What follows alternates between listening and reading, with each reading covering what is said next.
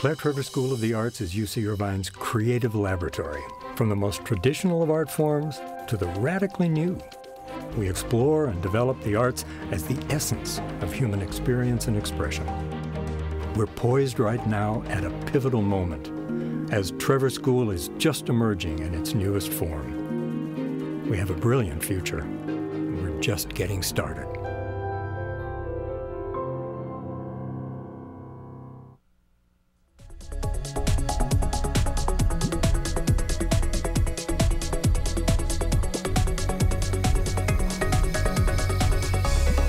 Well, coming up soon at the Barclay Theater is going to be a wonderful production put on by UCI.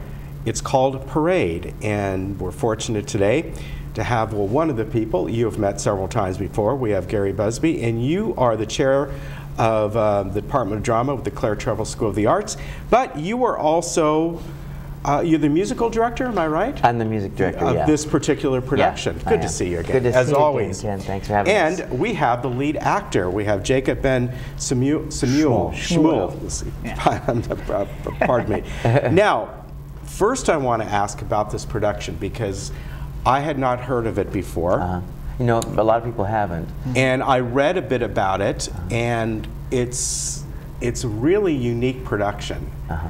It's going to touch on a lot of different things, am I right? A, Oh, lot absolutely. of different things that are even pertinent right now. Well, the whole season that we've developed is about kind of things that are going on right now, but this play sort of sits at the, the crux of a lot of social issues. Mm-hmm. Um, you know, uh, Jew Gentile, black white, rich poor, Yeah. industrial versus agriculture, and it's all and it takes place in a in a in Atlanta in 1913. Oh, and okay. so it's a historical piece, and it's it's actually all the the story is true. It's not fabricated. It's based on true events. Leo Frank, who Jacob plays, was a real person. um, Really? mhm, Okay. Who uh, the basically the Jewish Anti-Defamation League started after this case, and uh, one of the exciting things that's been going on is the a, a number of our, our law classes at school teach this course. There's a class called the Miscarriages of Justice, mm-hmm. and this this particular case is taught as one of the case studies that the play is about. Interesting. Yeah, so it's got a lot of teeth. That's that's so you you work with uh, Erwin.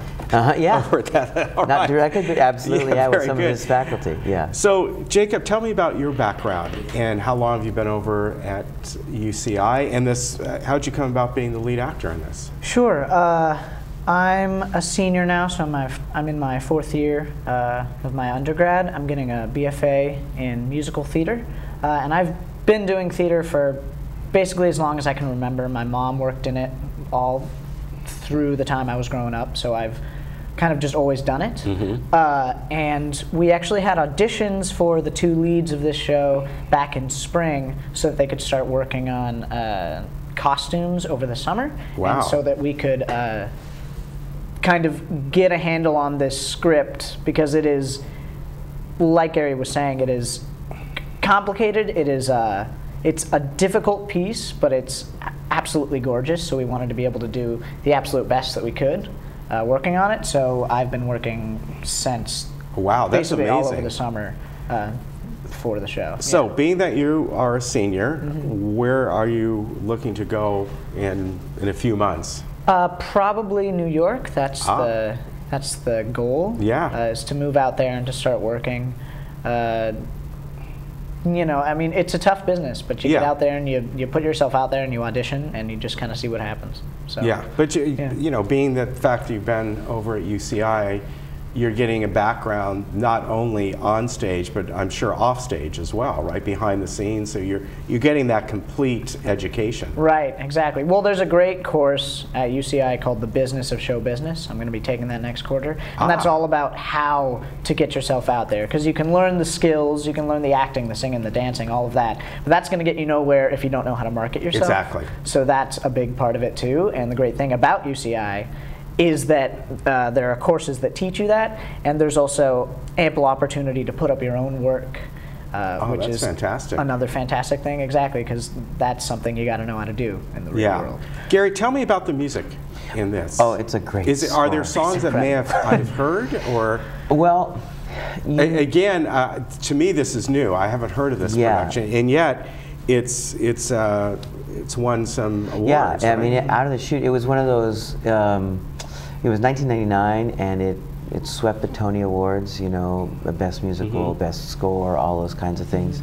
Um, it's got gorgeous music. I mean, really. Uh, it, Jason Robert Brown sort of is a, is is kind of I think of him as the modern day George Gershwin, in that he's able or Leonard Bernstein he's able to synthesize um, American popular music and classical idioms and sort of blend them together, mm-hmm. and so this the score has these soaring melodies and big orchestrations and you know beautiful songs, but it feels very contemporary at the same time. Mm-hmm. It's it's what we call pastiche, and that there's a number of songs that are sort of to set us in the time and place. Okay. You know, uh, there's a, a lot of ragtime music and that kind of stuff. So it feels very familiar, and it feels very much like music that we all know as part of our culture, and yet at the same time, it's exquisitely modern. You know. Yeah. and- but not in the, in the sense of like being difficult. Modern in the sense that you can feel the sensibility of a contemporary composer. Right. Yeah. Jacob, tell me about the character, about where the character starts out Yeah. and uh, wh- where your character kind of ends up, and as far as that, just kind of a little synopsis of their story. Uh, so I play a man named Leo Frank, who, uh, as we said earlier, was a real was a real person. Uh, he was born in Texas, but then very quickly moved to Brooklyn, New York, where he grew up. Uh, so he is not a man of the South. Uh, Okay. and then he moves to Atlanta uh, to get a job and uh, marries a woman named Lucille. Uh, and when when the story starts, we find him unhappy, uh, not. He's not. He's not in love with the South. He, he doesn't like to be there. Uh, he misses home. He misses Brooklyn. Uh, he he really kind of look down looks down on a lot of the people, uh, on most of the people that he has to interact with all of the time. Interesting. And and what that uh, what that kind of does is it already sets the community against him because he is this outsider. He is this man from the north who comes down and uh, runs the pencil factory that a lot of the 10 year old girls work at. So it's already kind of seen, he's already seen as an outsider and as someone who's kind of taking, uh, taking their. Uh, their what am I, uh, their traditions away. Um, and because of that, when uh, one of the little girls who works in the factory is uh, found dead in the basement, he is immediately one of the prime suspects for the case. Wow. Regardless of whether he actually did it, there is this huge, uh, there's this huge um, uh, of uh, I don't know the word I'm looking for, but, but everybody's against him just immediately. So it it almost sounds like it's from the story that you're giving me that you're seeing this character from two different sides, almost two different prejudices in the way, his Yes. own and then How they- the community, and did one affect the other? Right, exactly. exactly. The- Well, Yeah. yeah. One of the things is uh, he is he sort of paints a target on his own back Yeah. by being so insulating himself and Yeah. Right. distancing himself from his community rather than integrating with. Um, and he has absolutely no purchase at all with any of the people around him. And so consequently, he- he's an easy target because he's someone that the community can gather around and, and decide. And the other piece of this is, is you, you're talking about, it, it sort of takes place, you see the, how the role of politics and media, very contemporary, um, you have a politician who, a governor who is really concerned about his standing and sort of orders the district attorney to make sure he gets a conviction, and Right. essentially gives him carte blanche. The district attorney sets finds a newspaper person down on his luck, who sort of works to uh, try the court in the papers. Right. Sound familiar? Yes. and so, so essentially, it's a kangaroo court before ever it ever began. Nobody Yeah. really knows you know, if Leo Frank did or did not, you know, commit the murder.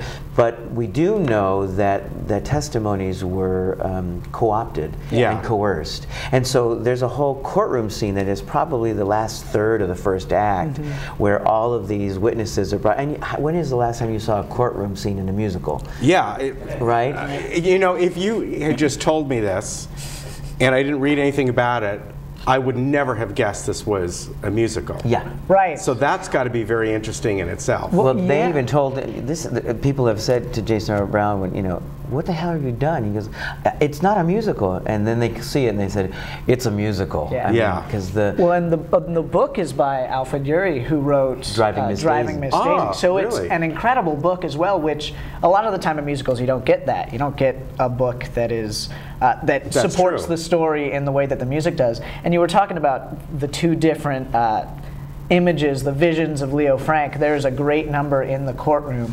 Uh, after we've seen a lot of these factory girls, their coerced uh, uh, testimonies about him, Mm-hmm. then we see him perform this number from their point of view. So he turns into this. He turns Monster. into this Wow. monster that they all see him as in the middle of the courtroom, and then it cuts back to the end of that testimony, and he's like, "Th- "These people have clearly been coached Right. on the things that they're saying." So, if, as for the audience watching, I'm sure there are times that you loathe the character and then you're feeling for the character. right. Well, luckily for him, he has a. as His spouse never gives up hope on him. Mm-hmm. Yeah. And they have a difficult relationship. She's a Southern girl. I mean, he has a great line. Jacob delivers so well. You know, I, I cannot figure out how God made you people Jewish and Southern at the same time, because he holds Southerners in such disdain. Yeah. Right. But but she doesn't give up on him, and she goes and actually gets all the way to the governor and convinces the governor to reopen the case and look at at the testimony and look at how things were done, and so that's how he has his sentence commuted at the end of the story. Interesting. And I can see how this kind of jives with uh, uh, the author's other book, Driving Miss Daisy. Of course, Exactly. she was Jewish. Yes, Right? exactly. All right. I want to tell you about how you can get tickets here. Very easy. Uh, the website is www, obviously, .arts.uci.edu and then uh, slash tickets if you want to do them that way. Uh, the box office number is 949-824-2787. It begins on November 12th. It goes runs to the 20th. There's eight performances. It's at the Barclay Theater, which is uh, right there on campus. Thank you very much. Absolutely. Always Thanks good having to us. see you. Thank nice you. to meet you, Good sir. to Hope to meet see you. you. Good luck if I don't see you again out Thank there you in New York. much. And uh, great performance to the both of you. All right, Thank you. Take All care. right, we'll be right back. Yeah, my